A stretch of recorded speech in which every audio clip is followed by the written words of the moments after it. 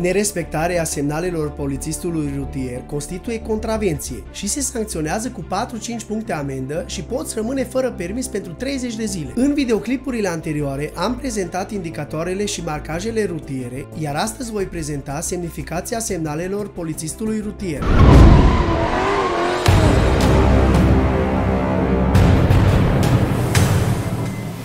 Bine ai venit pe canalul iDrive unde voi face tot posibilul să te ajut să obții mai ușor un permis de conducere. Participanții la trafic trebuie să respecte cu prioritate semnalele, indicațiile și dispozițiile polițistului rutier față de semnalele speciale de avertizare, luminoase, sonore ale autovehiculelor speciale, semnalizarea temporară care modifică regimul normal de desfășurare a circulației, semnalele luminoase sau sonore, indicatoarele, marcajele sau alte reguli de circulație. În prezența unui polițist rutier aflat în exercitarea atribuțiilor de serviciu, dirijând circulația, ești obligat să-i urmezi indicațiile și semnalele lui. Dar pentru asta trebuie să cunoști aceste semnale. Aceste semnale ale polițistului rutier sunt următoarele. Brațul ridicat vertical semnifică atenție, oprire pentru toți participanții la trafic care se apropie cu excepția conducătorilor de vehicule care nu ar mai putea opri în condiții de siguranță. Dacă semnalul este dat într-o intersecție, acestea nu impune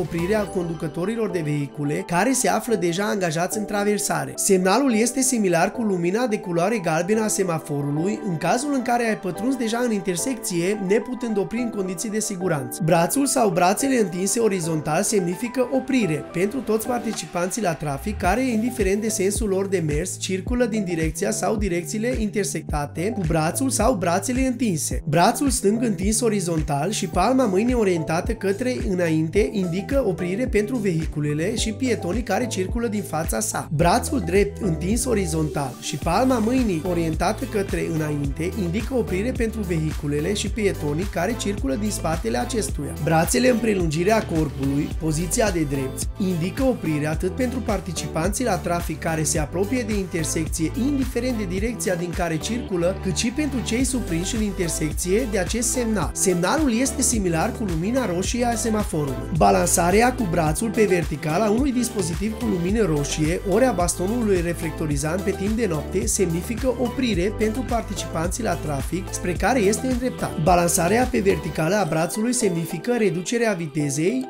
deci nu te oprești, pur și simplu reduci viteza. Rotirea vioaie a brațului semnifică mărirea vitezei, deci accelerezi la acest semnal. Și pentru pieton, grăbirea traversării drumului. Deci dacă ești pieton, bagi viteza a doua și treci mai repede. Polițistul care dirigează circulația poate face semn cu brațul ca vehiculul să avanseze, să depășească, să treacă prin față ori prin spatele său, să îl ocolească pe partea sa stângă sau dreaptă, iar pietonii să traverseze drumul ori să oprească. La efectuarea comenzilor polițistului poate fi folosit și fluierul. Polițistul rutier poate da indicații și semnale dacă se află pe o motocicletă. Aceste semnale sunt similare cu cele menționate mai înainte. Brațul ridicat vertical semnifică atenție, oprire pentru toți participanții la trafic. Balansarea pe verticală a brațului semnifică reducerea vitezei. Brațul sau brațele întinse orizontal semnifică oprire pentru toți participanții la trafic care, indiferent din sensul lor de mers, circulă din direcția sau direcțiile intersectate cu brațul sau brațele întinse. Polițistul rutier aflat într-un autovehicul al poliției poate utiliza și dispozitivele luminoase cu mesaje variabile pentru a transmite o dispoziție sau o indicație participanților la trafic. Aceste semnale pot pot fi adresate concomitent cu transmiterea unui apel prin amplificatorul de voce. De asemenea, poate executa semnale cu brațul cu sau fără baston reflectorizant, scos pe partea laterală dreaptă a vehiculului. Acest semnal semnifică oprire pentru conducătorii vehiculelor care circulă din spatele autovehiculului poliției. Același semnal efectuat pe partea stângă a autovehiculului semnifică oprire pentru conducătorii vehiculelor care circulă pe banda din partea stângă în același sens de mers ori sens opus celei al autovehiculului poliției. Nerespectarea semnalelor, indicațiilor și dispozițiilor polițistului rutier aflat în exercitarea atribuțiilor de serviciu constituie contravenție. Se sancționează cu amendă prevăzută în clasa a doua de sancțiuni, 4-5 puncte amendă și aplicarea sancțiunii contravenționale complementare a suspendării a exercitării dreptului de a conduce un autovehicul pe o perioadă de 30 de zile. Nu uita să dai un like și un subscribe dacă nu ai făcut-o deja și sper că am reușit să te ajut.